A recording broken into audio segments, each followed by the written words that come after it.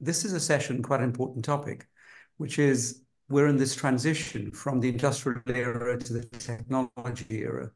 And we find ourselves in that place where the industrial models of everything, doing business, wealth creation, how we conduct our relationships in trade and so on, are all about to be challenged. And as a result, there has to be something that replaces it, but it has to be timely and has to be highly impactful. And what that is and what shape it might take, we're, we're going to briefly explore today. We have for you a very interesting panel. I'll just introduce myself and then the panel. I'm Ketan Patel. I'm uh, a member of the Board of Trustees of the World Academy of Art and Science. Um, I'm also the chair of something called Force for Good, which works in support of the UN Secretary General's uh, Sustainable Development Goals. And our overall aim is to look at how we create a more secure, sustainable, and superior future. Given the technologies that are being innovated and launched now, and the ones we can expect, it should be possible to actually achieve a superior future, not just one that is secure and sustainable, but superior in the sense that everyone is elevated across the whole world. Our report on technology as a force for good as a partner of the World Academy kind of shows that actually the, the ability to use technology to change the world is something real and existing technologies can close nearly 50% of the SDG gap if only we took what existed and rolled it out across the world at some scale. So it's, a, it's an exciting endeavor, of course, to see if we can actually get that done. And with that in mind, we have a very interesting panel for you. Um, the panel itself has um, three generations. We have um, an individual at least that is over 80, has crossed 80. We have one that is crossed 60, and uh, we have one that has crossed 30. We'll have three different perspectives from three different sets of careers. And I'll begin by, by introducing um, Dr. Rajan. Dr. Rajan uh, is a physicist, a professor, a senior government administrator, uh, a businessman, an advisor, and an author. He was uh, a senior individual in the Indian space program for over two decades. He crosses technology and business and education. He's been awarded the President's uh, Prize in India or award in India called the Padma Shri, one of the fourth, uh, one of the highest civilian awards in India.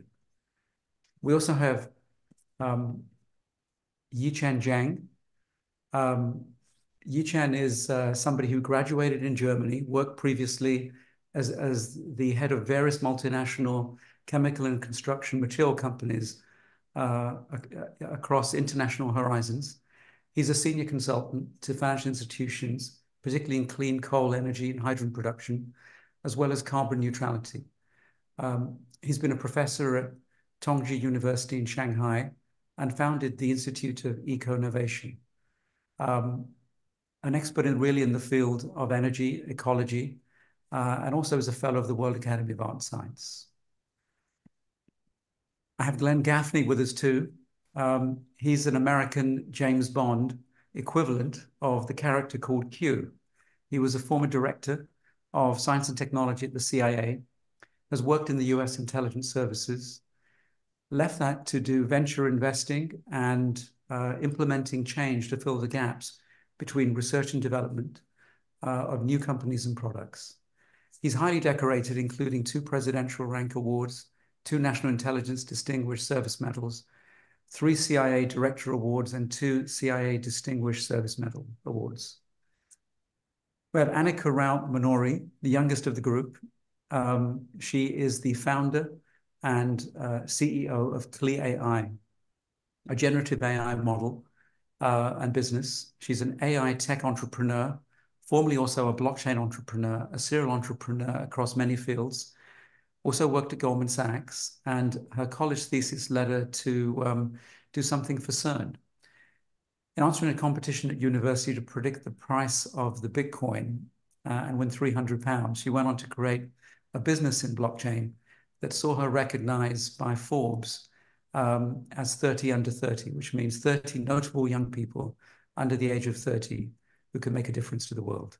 So it's a fantastic panel, a dynamic, interesting, fantastic panel. And we have three sets of questions that we're going to explore today. Um, I'll begin like this. The first, and I will pose it to Glenn. and we'll talk about the challenges with each of them. And I'll ask all of you to be really brief. We have 50 minutes in total. We'll try and keep to time, given someone else will be taking over as soon as we finish. So the first question I have really is for you, Glenn. Um, what are the biggest issues you see facing the world where technology can make a difference? hard to come up with a, a short answer to the, the, all of the challenges that are out there, but I'm going to focus on two that I think are really important um, in the near term, uh, and that's energy um, and uh, digital infrastructure. Uh, and I focus on energy and digital infrastructure because they are critical enablers of so many of the other things that would need to be addressed. So when I think about things like food security, for example, um, and I think about some of the great research and some of the breakthroughs that are coming that are on the horizon for the development of new proteins and new approaches uh, that will help in the food security area. One of the fundamental limiters that have to be solved in order to make those price point effective or move forward is solving the energy problem. When I think about things like um, AI and all the enabling that AI will do, there's a big energy piece, right, associated with that. So energy and digital infrastructure are two, I think, of the near-term challenges that will unlock so much of the other things that need to be addressed under the SDG goals. And, and clearly, we're in a transition of energy sources from oil and gas to something far more renewable, and hopefully in the future, something far more powerful and cheaper and functional that would allow us to include everybody else in the world. Um, I'm going to come back to you, Glenn, later and ask you what you've seen in that field that makes a huge difference. But um, if, if I can ask uh, you, you please, um, uh, Yiheng, uh, would you mind telling us, it, this is your field too, what do you see that is important in the field of energy that is making a difference? And what are the big challenges that you see? Um, I just want to make one point maybe clear in the in upfront is that uh, in the past we treat a fossil as and uh, uh, when the uh, when the when when we treat that fossil as as a as a energy source in the past, it is actually not exactly what you do that today. And I think a or a, a, material instead of resources of energy. So it's a carbon and hydrogen source.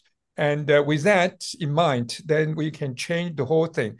But at the same time, I think uh, uh, in the the past 10 years, also the fossil um, has changed the role um, um, uh, very obviously. Many people doesn't see that, but it is uh, quite true. And I have made quite a, a number of studies on that. And um, well, um, we, if you want us, if you want to listen to that, we can dig into that too. But main part is that it is a source of carbon and hydrogen. Yeah, interesting. Um, Rajan, what, what do you see as the challenge that technology should be addressing for us? What is the big challenge? Actually, as Glenn said, there are multiples of them. I won't be able to, at least sure. four, five of them are very, very critical. But I will quickly say one thing. While the greatest savior is going to be AI on one side, on the other side of it is, it is having a lot of, I always call technology as multi-edge. There are things in AI which can, which will destabilize the societies. As uh, uh, this one was there, human security, fear it gives, give terrorism, and the democracy cannot exist. There are so many problems, interference with. The, there are so many things like that.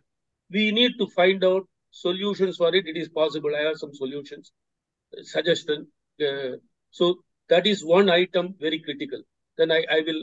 Next one will be water, water, all forms of management of water. Then I am skipping some.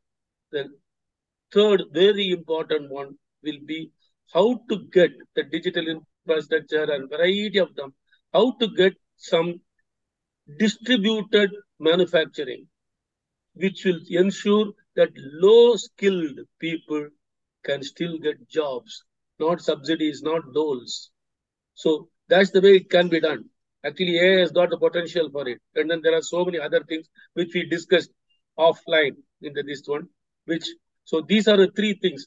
Distributed manufacturing to ensure that even the very low skills, it is not only in the, the develop, the developing, other thing will be water management.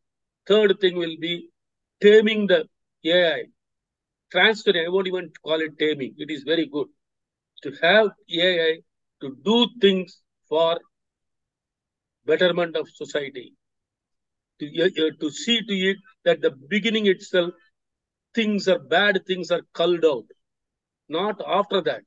Bad things can be should be culled out before they are in, worked upon. Is possible. At least I guess it is possible. These I these are the things on which people should work. Very, very interesting because it's a, it's clearly a multidimensional problem in terms of who decides what is dangerous and what isn't, what is truth and what is lies and so on, and the role of the state in that and the role of the tech companies and so on. Annika, let, and we're going to come back to that. Annika, let me ask you the question. What, what do you see as the biggest uh, or some of the big challenges that technology needs to address? Yeah, I think uh, the biggest uh, challenge there is um, it, that technology can help solve is um, right now the economy is still kind of run um, exists as it were before technology could really impact the distribution of power. Um, before you know it, it, monopolies win um, and they do a lot of things inefficiently um, and smaller companies um, get kind of constricted in growth because they're they're too small and they can't they can't compete with those resources. I think technology can facilitate, like the guys have been saying about digital infrastructure, it can facilitate a trade environment um, where multiple small companies can work together and each one of them can be extremely efficient um, and and work together to create that same kind of um, power, except there's more um, distribution of it, and um, there's more equality, and um, you know there's there's uh, more specialization, which leads to actually better quality. Thank you. That's a, that's a great headline. I'm going to pull that together and ask now us to move to saying practically what is it that should happen in terms of high impact innovation. And um, Annika, why, why don't you continue that thread? Because you're absolutely right. Most of the wealth has been monopolized of course, in the largest corporations, and of course, in, in the wealthiest of countries. But that, of course, means that two thirds of the world have not been beneficiaries of, of so much of the progress that has been made in the world. They don't get the medications, they don't get the clean water, they don't get the jobs, they don't get the technologies and the education and so on. There's so many things missing.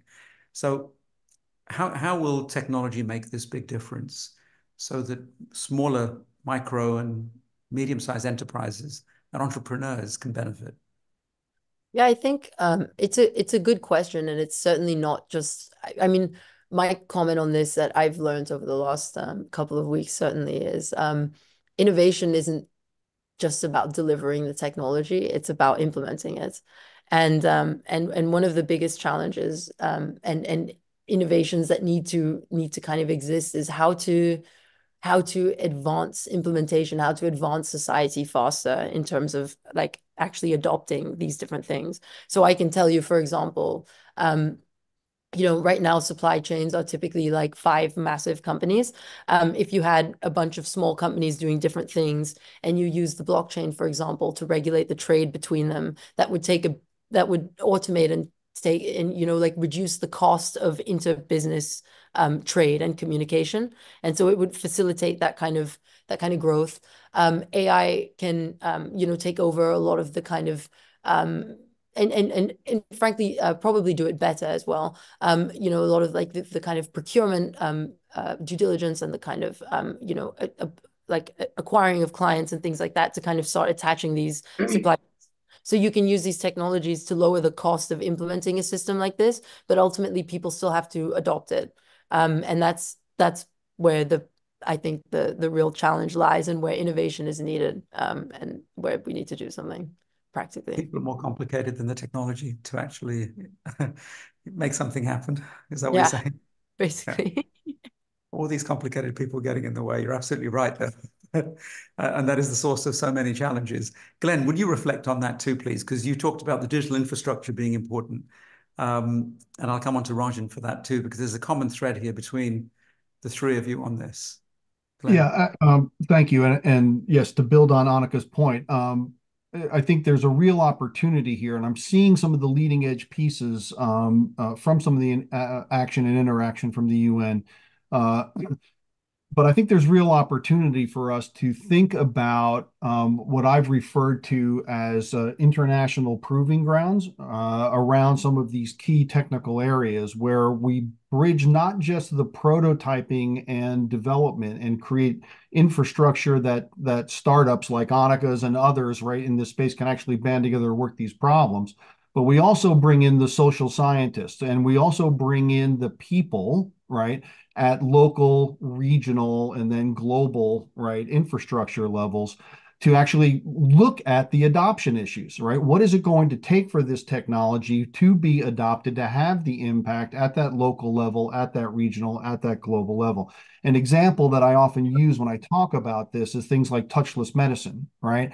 Um, great things are develop are, are, happening in the field, right, of medicine and um, remote medicine, touchless medicine, and the way that things can be developed and go forward. If we let the standard market forces drive, we know exactly who's going to be the test market in those places. But what does it look like if we actually change and have proving grounds, have adoptable um, uh, uh, access for local environments that aren't normally the ones who are part of that market survey or that market study that then launches that technology. We'll learn not, we'll have a local impact and a regional impact, but we'll also learn as entrepreneurs, manufacturers, developers of a whole different dimension to market right? Um, that then will actually you know lift the overall quality of life and ability for uh, folks in general across the board. And so um, prototyping these things, whether it's touchless medicine or it's AI, and thinking about what does it mean to actually use it at that local level, and then employ it. What is a degree of accessibility and and acceptability, right, within a particular locality or a region, then creates a different paradigm by which we develop these things going forward. Interesting, uh, because um, let, let, just one more part to that. Is it scalable to do it that way?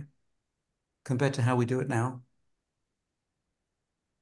It depends on what you mean by scale. Um, and so if, if you're if scale means sales, right, and return on investment, the way that we do it now is hard to beat, right?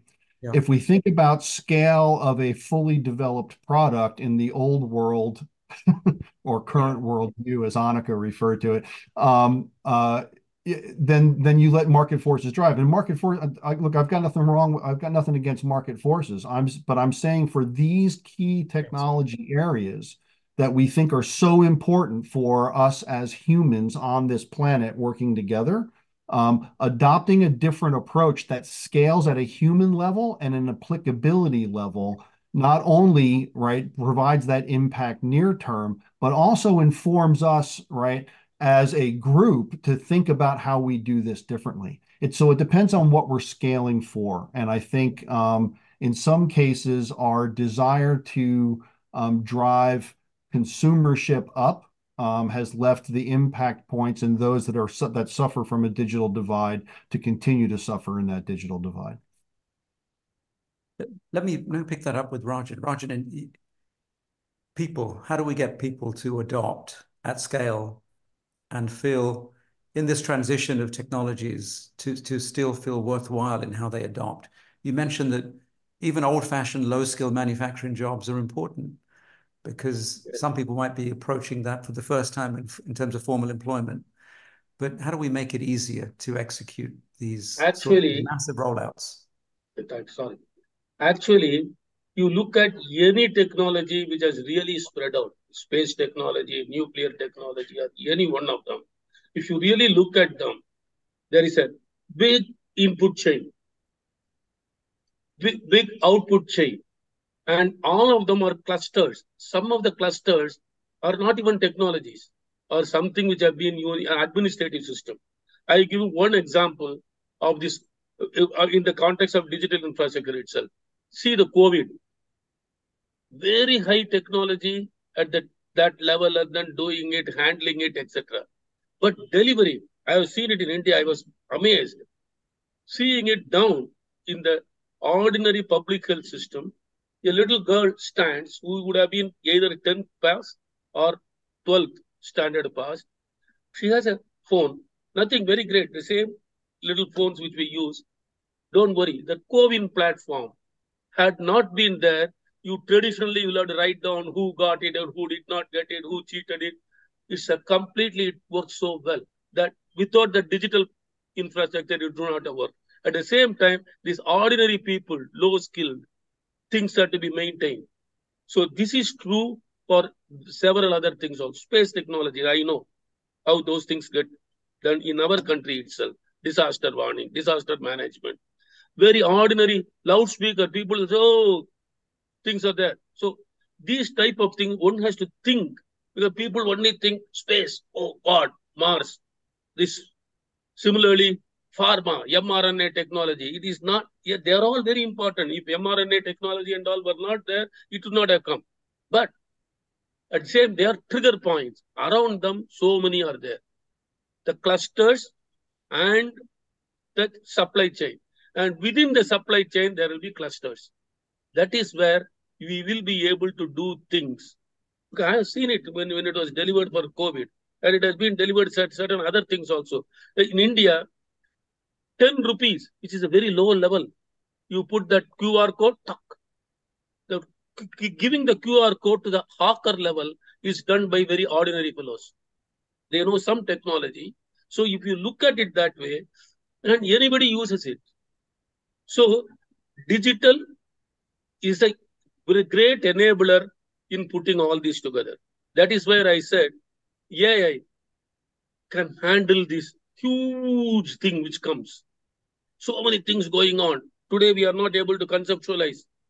Those things can be brought in into it because it can deal with a large amount of things, ordinary things, and also big things. So if we have that attitude, that very ordinary thing is also same thing will be in agriculture. Variety of them. I can go on. I have seen it quite a bit of things working.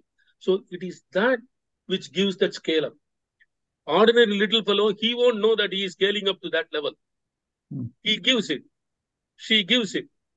Somebody else, but overall, if you look back, it's a big scale up countrywide, but also even beyond countries.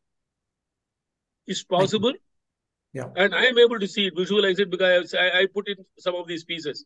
Because now one advantage for me is I don't have to immediately deliver. So I can look back and then see how these things are. So yes. that is that is what a great advantage which we have. It can be done for transport, it can be done for everything. Transport. In India, everywhere, the tolls, it goes off. FASTag.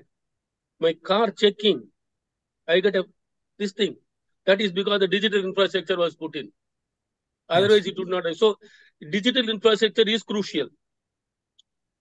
Along with that, this conceptualizing of the scale is necessary, but you have to disaggregate them to the lowest thing, which will absorb also ordinary people into the job. And it is possible. It requires a little bit of a mindset change. No, everything will be done only by this. Leave it to market. I am not against market forces at all. They are very critical. But say that I will leave it only to market forces will be lot of valleys of death and we can avoid it. Preempt let, let, me, let me bring Yiheng in because here's somebody you know who has experienced the power of the state transforming a country and the rise of the entrepreneur meeting the state somewhere um, and a country now of course in China that is on some dimensions extremely advanced and other dimensions still developing and growing. Yiheng, what do you see as um, innovation and how it can make a difference to us achieving these these goals, the sustainable development goals, um, and raising the world? Thank you. Uh, I, I I could be uh, dropped off again. I mean, um, I'm I'm trying very much. It's not because of the technology. It's because someone is uh, controlling. anyway, um, what I'm trying to say is um, uh, actually what I see as a a need of the alternative AI, or try to differentiate that in the AI. It's in two parts. Part number one, which has been uh, pers uh, pursued in the past uh, over 30 years is precision, is um, optimization. And that part is definitely with digital, with a lot of data, or when we call that as a kind of controlling according uh, to what parameters are exactly set. And uh, this has been done uh, not only in the Western world, but also in China. But the, the critical part is the first part. The first part means um, the HI, a human with the artificial intelligence. And that has been actually um, uh, making not many progress. Basically, uh, that part is actually more holistic and instead of precision. Basically, we want to see the, the where is the problematic and this, and and and make a kind of uh, justification with semi-empirical semi-empirical uh, understanding and uh, that part is actually uh, I see not much progress until today. Was surprisingly, but it has happens like that. So in China, you can see that in many areas are very similar now to Western world. So from my part in the chemical industries, we see uh, the chemical parks are working exactly as uh, Ludwigshafen in Germany or in Antwerpen and, and nicely and, and uh, well done. But uh, on the other hand, there are still many things are man-made. It's still according to the experience and and and the empirical things, and and from that part, uh, such kind of uh, let's say uh, ling- uh, neuro linguistic uh, that kind of combination or nerve systems didn't really help much in, in that aspect, and we're trying to find a way even to avoid that kind of resistance using computer assisted job. And that is very interesting to me. And, and it's currently done. So basically, uh, this is one part. And the other part is, of course, China um, is moving forwards. And uh, until now, uh, China is uh, uh, uh, learning from the Western world, and all the standards are set by the Western world.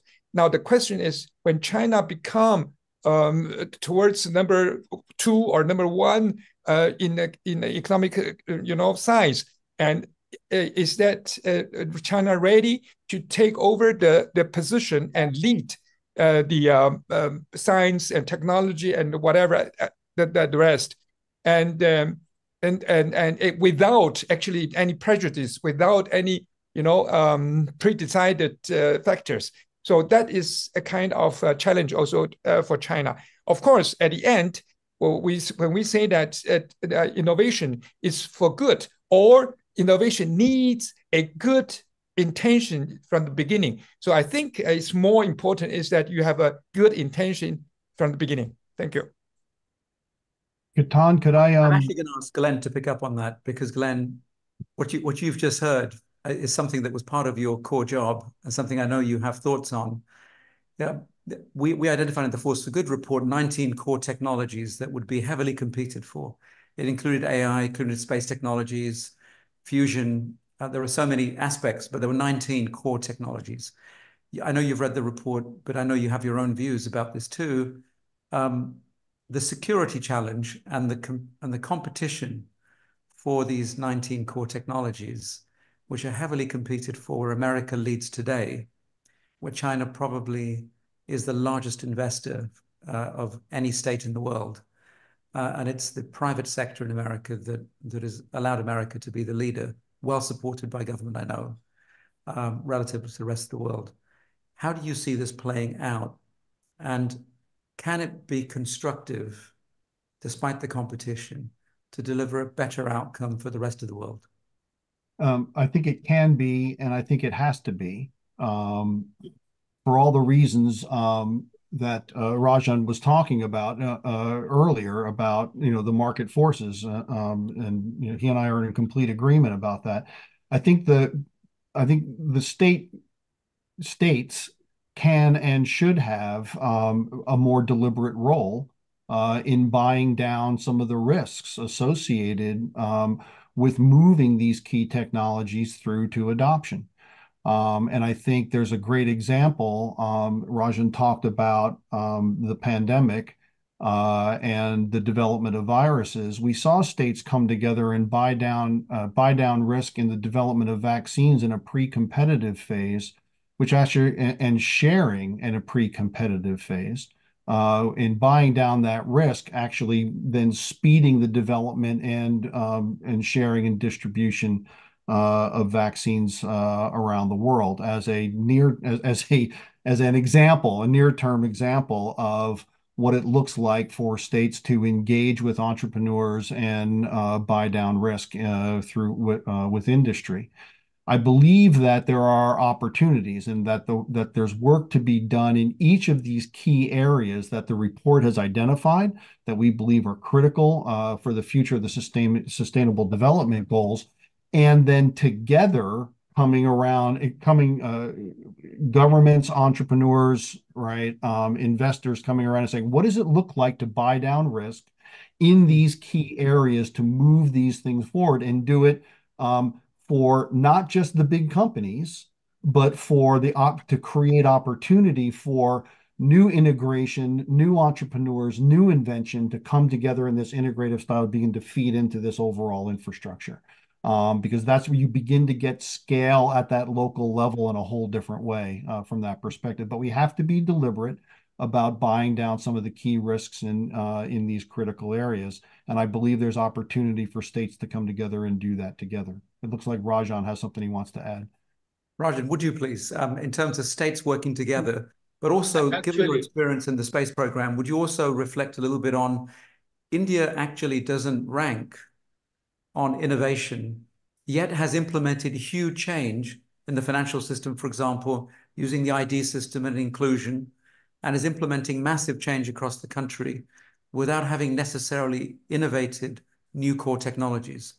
What, what is your reflection on this need for competition but collaboration? Hmm. I will come to that, but I also want to say a few things which Cheng said towards the end. What is required is the intention is not intention before starting. I will come to that after that, after replying to what you said. Yes. See, uh, the space technology itself was considered for India not for competitive one in the market. Now they are getting a little bit, the strategic dimension is there. But the beginning was for education, reaching to so many places, villages, 600,000 villages, and remote sensing, variety of them. It is that intent. Therefore, with that, steadily it was on that. There were the demands for doing this, doing science, astrophysics. I think it was demand on that. So that's how it is done. Now, coming to the other side, what you said, the innovation index, I don't give much credence to it because they put too many parameters, how many patents you did, how many did this, etc., etc. Whereas, because overall, India's resources are limited, it can't do everything. But this is where they did not bother. Have I put in the highest in the nanotechnology uh, to get a little extra mark? How many papers came? Instead of that, as you said about financial sector, if you don't include financial sector, you can't do removal of poverty and all because in between there was corruption. When you start giving subsidies, there was a corruption. Therefore, first and foremost was done was that one is a state subsidy. If you look at it, banks won't open for a poor person because maintaining a passbook and then doing it. Therefore, the government said I want all Indians, man, woman, will get a passport called Jan Dhan, people's wealth. They have zero money in the bank, but they have a passbook, they have an ATM card. In that, they could directly transfer the subsidies when it is to be done, etc., etc. So therefore, financial sector was very crucial. Then along with that, authentication is necessary so that Aadhaar which was their identification. People were telling, some people were telling human rights, privacy, etc. But that was used. So you can identify to whom the benefit goes because people were multiply using. So the entire finance sector was crucial, not only for upper part of it, but for delivering for the poorer sections of the country. So that became a crucial word. Then it could be then we be put in transport, etc., etc. That is so, in other words, there was a deliberate choice. How he did, who did it, I don't know. But that was a deliberate choice to go towards that. Now, I will quickly take, because the time is running out, because I wanted to tell about the AIs. This thing he said about Cheng beautifully said, it is the intention to start. What the intention to start, actually, we all get into the problem of ideology. But in my, this thing itself, I said, that is, we have to eradicate ideological biases. We will have ideology, but when I am doing something, you should not get into the bias, ideological biases, and infuse compassion in all the competitive activities. I don't want them to be uh, leave out everything, etc. So how to do that? The possibilities exist only now. Up to now, it was all in the uh, realm of philosophers. The possibilities do so in the modern world with our own modern tools. I find a possible way through the Jaina seven value system. That is, what happens is, up to now, those machines, the big ones which are done, they say, do this. All the models have got ideological biases. If I do one, I will put my bias. But even for a selection of technologies, maybe I will do something. So to remove it, how do you do? You have to have a beginning itself, not yes, no. So how do they do it? Uh, is that the, the, what is that? It is called Syad Syadvada. And I am I am not a specialist in it, but great statisticians of India, Mahalanobis, and then even many foreign scientists have worked on it. Say it as a qualitative one to modern statistics. This is done 2000 years ago. Uh, uh, some quotes. The Jaina hold that no affirmation or judgment is absolute. No affirmation or uh, uh, judgment is absolute, uh, absolute in nature. Each is true in its own limited sense. And only for each of them, it is okay. There are seven alternatives for anything. One is maybe it is. Maybe it is not. Maybe it is and it is not. Maybe it is indeterminate. Maybe it is and also indeterminate. Maybe it is not and also indeterminate. Maybe it is and it is not and also indeterminate. Now the thing is that maybe itself does not connote the full name. So I don't want to get into the detail there. They are given indeterminate itself can be indescribable, in, inexpressible, indefinite. We come across so many things in our life. So here, what can be done is this comes very close to modern stochastic things. So if this can be built in, suppose ideology, I say that this is bad. Somebody says, no, no, no, these are some aspects of it. So if these things can be built, only AI can catch these multiple things. It need not be given a old type one zero. So this, if it can be done, big techs can do. There are many young people. That's why I said in the beginning also, people, in the uh, generation of uh, uh, Annika, they can't do it you have to build it in in the beginning itself before the model is given for the okay. AI. That's what Thank it is. I'm going to seven possibilities. And... Seven possibilities of anything, not a one yes or no. Okay. I'm going to pause you there. And actually, Annika, you, you've heard the other generations on this call speaking about the role of the state, um, how things get rolled out, the role of the markets, how important finance might be to get things pushed out, the ecosystems, the clusters of technology. What is really the answer? Um, I do have an answer, actually, I think. Uh, I don't know if it's good, good or not. uh, but, you know, I realized as I was listening to everyone talk, um, is that ultimately, like, what's missing and what's, um, you know, like, how do you get that 60% of the world or whatever, like those entrepreneurs, how do you get them power? And it's with data. And I think the role of the government is to open up data and open up um, the infrastructure, like basically make everything visible to people, you know, uh, real time. Like, so the Indian government can kind of do this now because of their um, authentication system and because of the financial system. But, you know, everything is able to be public um, everything is able to be mined and the only way that you know a budding entrepreneur or you know some like you know people on their own or whatever can really get a competitive advantage is by taking advantage of the data and have the truth in front of them that they can then use and they can build a business that has an arbitrage um, because they were able to look at something in a different way. The problem I think now with the world and with governments working together and all those sort of things is that everything is like lies built on lies, built on other lies and misinformation and stuff. So if you were able to just open up, you know, what's actually happening, um, I think then you would be able to fix a lot of these problems. Now, thank you. Now, you're revolutionary at heart, I know, and that comes out in what you just said. Um, we are in the last three to five minutes, and um, 30 seconds only, please, your, your closing thought. Um, and I, I will start with Yiheng, please.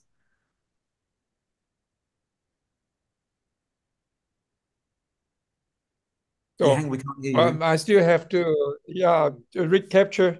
Can you hear me now? Yeah. Yes. okay.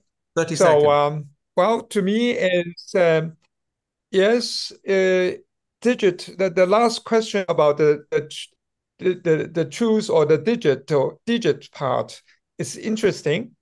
You are still not getting the, all the facts. So basically, it is still a kind of, of empirical world, and you are judging uh, um, by yourself, basically if you are capable to get all the informations and still um, you have to judge it whether these information are correct or not. Well, this is a challenge, and AI won't help you on that part. So it's still under humanity. And uh, when I talk about the original part of the human, look at that. It's still compassion and love. I hope that uh, will create the basis for us. Wonderful. That's a wonderful thought. Thank you. Um, Rajan, the 30 second version of your takeaway for us. Cheng has, Cheng has beautifully said it. You can use it. We have to bring the HI, the human intelligence or human emotion, rather HE, that should be brought in into the system, which means you go to the Jaina, some other thing, uh, etc. It is not one yes or no try to make it into that and that can be built in only AI can do. Otherwise, you have to only contemplate and then do it. AI can democratize it, can do it. I envisage that in another five years, people will be able to show some models which are not biased, which can say that I have considered all these opinions before making this. That is possible. Mm. That is what one should try. But that doesn't mean all other challenges which were talked about we can drop it and then be only on that. They are all there. But this one yes. will help it and then jump together. Thank you. Thank you. Thank you. Glenn. All right, starting my stopwatch. Um, a couple of things. Um, one, um, Annika's point, I think, is a great one on opening up data and sharing knowledge um, around uh, what has been learned uh, throughout these last uh, multiple years, but also just um, democratizing, getting the information out there and making it accessible. Uh, and this is a real challenge um, because the monetization of data and the ownership of data and the conditioning of data has been tied to real profit models. And it's going to have to be, we have to actually set a higher ideal to overcome it. And, and um, Yi Cheng's point about compassion and love and, the, and what what the point is here, I think is really important. And I've just blown my 30 seconds, so I so much for my stopwatch. Um, really important, but doable because we're about to enter into a period where machines are going to produce more data than the humans have produced the data. And how that, what happens in that space and how we make that data available and for use uh, is going to be is going to be critically important if we have the higher order ideals that we have been set that have been set before us uh, in the SDG goals, and we actually think about scaling impact in that space, we will do things differently in that space. My last comment um, is when we're talking about the development of new infrastructure and digital infrastructure to enable all of these things, I see a real opportunity for us to design security of these networks in from the beginning rather than building the networks and then trying to bolt security solutions on afterwards. And so I think there's an opportunity to actually leapfrog a whole generation of securing infrastructure for people, for the betterment of people, right? Because we have an opportunity to build it from the ground up. Wonderful thought. This leapfrog idea is a wonderful thought. Um, last word to Annika. Um, tell me. Um, I would just say 97% of the world's data is not accessible and not usable to other people's points. Um, AI is generating like opinions and content based on 3% of data. The rest of it's like shoved and stored and, and lost in like big enterprises. And we have to unlock that if we want technology to do good. Thank you. Very succinctly put too. I'm going to draw it together and, and thank you all for sharing in such a succinct manner uh, and a small time frame for us here some very important thoughts. We've touched on clustering technologies for innovation. The overriding theme seems AI in this discussion too. The need for the need for AI to unlock the individual level collaboration for small enterprise and individuals. Um, we touch ever so briefly on energy and its importance and water. Um, the need for, for collaboration across boundaries, particularly uh, the underlying theme seemed to be China and its rise to number one or two economy in the world, and America and its superiority currently in technologies and the need for us to essentially have to work together to solve the problems. And implementation being innovation, not only scientific breakthroughs and writing papers. The importance of the financial sector as a delivery agent, um, intention, not ideology, as a, as a cornerstone value, the need to walk a middle path rather than stick to I'm right or, or, or I'm wrong or you're wrong on the yes and no path. And where we ended seemed to be democratizing of data to um, create an open environment for, for innovation and the possibilities of that for allowing us to leapfrog where we've been to a, to a whole generation to somewhere much superior to where we are. And I, I, I like very much like that thought as the as the end thought, which is compassion and love. And the interesting idea that AI somehow will code that in for us. Um, it sounds like a whole topic to explore, that last thought. Uh, the importance of compassion and love, and how AI might actually help us advance that rather than create the, the security dangers that we all feared when we started this conversation. Thank you very much.